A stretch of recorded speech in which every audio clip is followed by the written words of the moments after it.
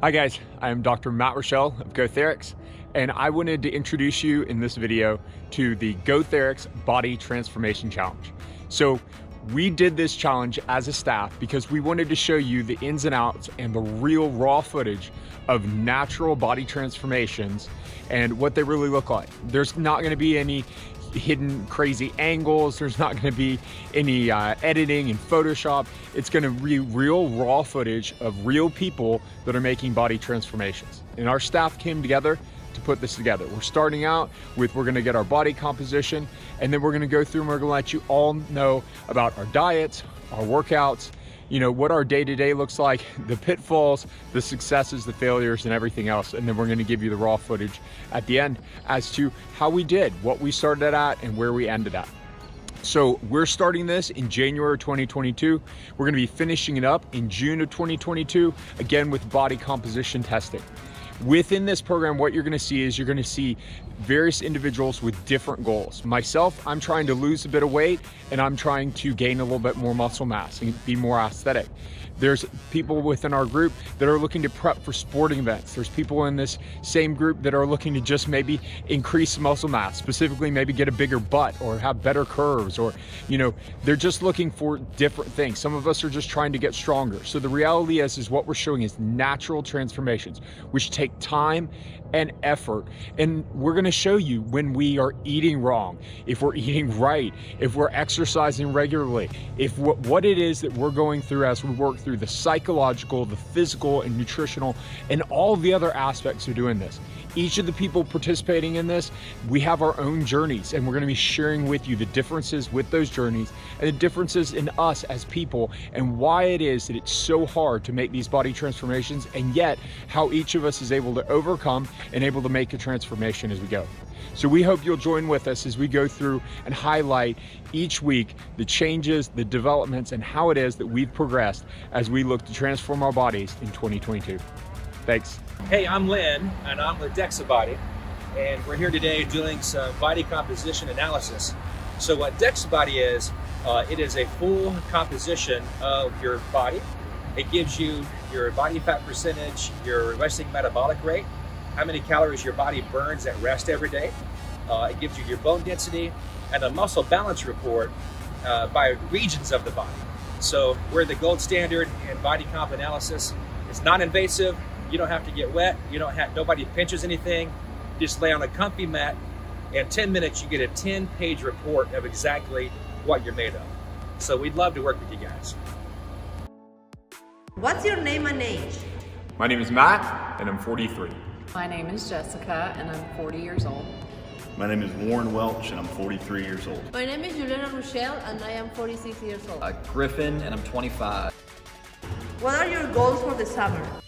My goals is I'd like to increase the amount of muscle mass that I have, especially in my chest, abs, and arms, and I'd like to gain about 25% on my overall strength, and then I'd like to lose probably 5 to 10% uh, body fat. My goals are I would like to improve my squat weight.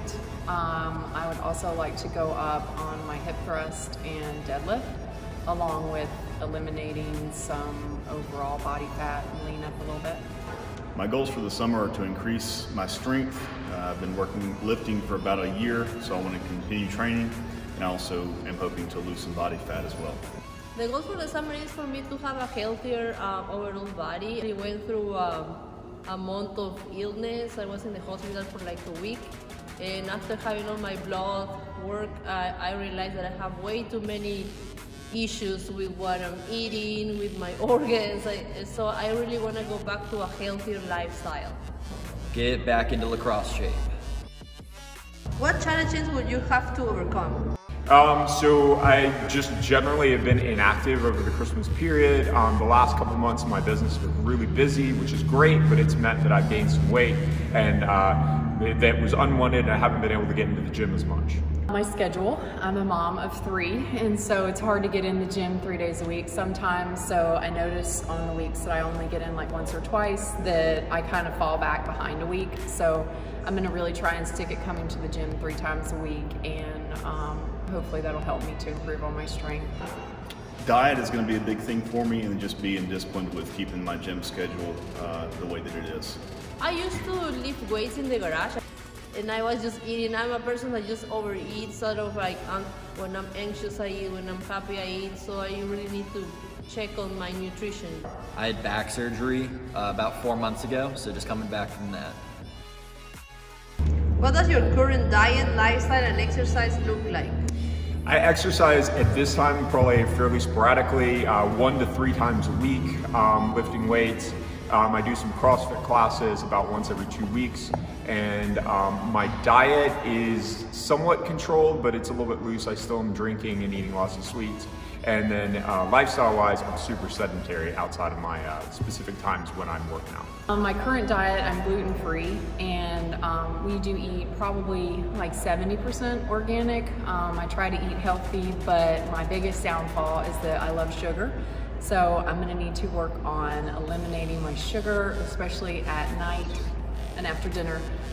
So I'm lifting three days a week and I'd like to go to four days at some point. And then as far as diet goes, that is a concentration that I'm gonna change and I plan to do some food prep three days a week for lunch. I would love to be able to see food as fuel instead of food as something that I need in order to feel happy. Uh, so to have a healthy relationship with food, along with um, overall working out maybe daily, so that it kind of get rid of my anxiety. Diet's pretty non-existent. Lifestyle is pretty active uh, with the dog and constantly running around doing things, but uh, need to get back into the gym more often. What would you consider success? Minimum amount for success for me would be to uh, lose a good amount of the body fat that I have and probably gain a um, enough muscle to get under, say, 18% in terms of body fat. Success would be, I think, if I can increase my strength, uh, go up in weight. I would like to, for sure, work on my squat form and go up there because that's pretty low. Um, I really want to do 315 for hip thrust, and um, I just want to continue to work on my deadlifting form and go up on my weight there. Success would be getting stronger, uh, feeling, continue to be feeling better, and also uh, looking better. Uh, be athletically competitive with uh, other people that you know I consider at the same level of my sport, and to get down to about 20% body fat.